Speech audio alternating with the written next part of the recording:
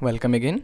So in this video i'll be discussing question number 14 and 15 just like question number 13 question number 14 is just the reverse case of the same question.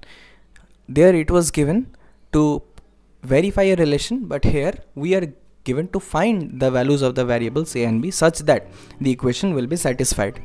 So we will approach it in the same way. So let us start. Given a is equal to 3 2 1 1 so therefore the determinant value of a comes out to be 3 minus 2 that is equal to 1 so therefore a square is equal to 3211 times 3211 we get it to be 4843 all right? Now we need to just put it into the equation. Given a square plus a times a plus b times i is equal to 0 now first let us solve it in the same way. So we get 4843 as a square and a times a matrix is 3211 plus b times i that is 1001 that is equal to 0 so let us just put it as it is. 4 plus 3a plus b. 4 plus 3a plus b in this side. 8 plus 2a plus 0 that is 8 plus 2a here it is 4 plus a. 4 plus a. And here here it is 3 plus a plus b. And 0 means it is 0 0 0 0 all right now what will we will be doing? We'll be just solving the four equations. See there are two variables a and b and there are four equations. So actually we have 4 plus 3a plus b is equal to 0 8 plus 2a is equal to 0 4 plus a is equal to 0 and 3 plus a plus b is equal to 0 now see there are four equations. So there will be two different kinds of values of a and b alright since each of the two equations can lend me two different values. So here we need to find the consistency with the values. If the values of a and b are consistent in all the cases then we can easily satisfy it for the values of a and b. So let us find from 8 plus 2 a is equal to 0 we have a is equal to minus 4 from 4 plus a is equal to 0 we have a equal to minus 4 so a equal to minus 4 is very consistent now putting a is equal to minus 4 in this equation if a is equal to minus 4 we get b is equal to 1 now putting a is equal to minus 4 b is equal to 1 this 4 plus 3a plus b we get it is 4 plus 3 times minus of a I mean uh, 3 times minus of 4 plus b that is 1 and that is I'm sorry there was a small mistake here a square the element it was 11 alright and not 4 it is clear that it was 11 I I did some mistake.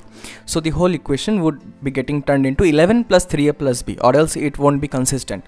So 11 plus 3a plus b that is equal to 11 plus 1 minus 12 and that is equal to 0. Hence a is equal to minus 4 and b is equal to 1 and these are the consistent values that satisfies the equation. Alright now turning to question number 15.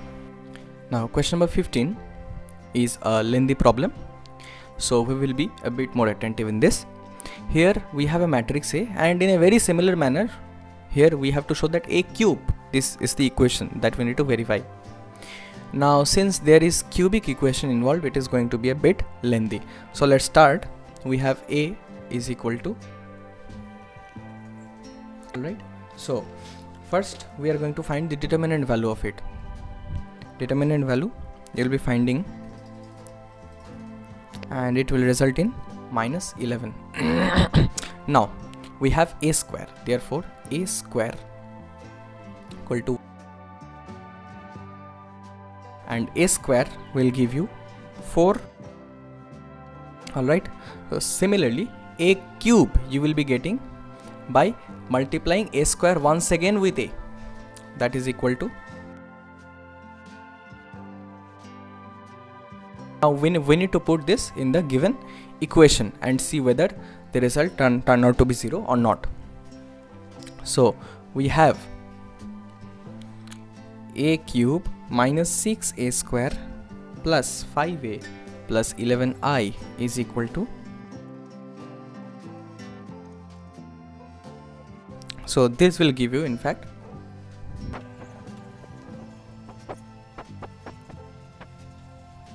now if you calculate this you are going to get a big zero. I mean zero matrix. So hence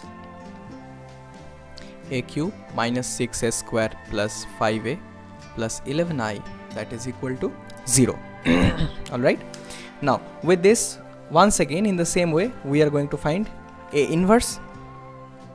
So post multiplying. Now we have a cube minus 6a square plus 5a plus 11i is equal to 0 so post multiplying we get a square into a times a inverse. I'm just writing it directly.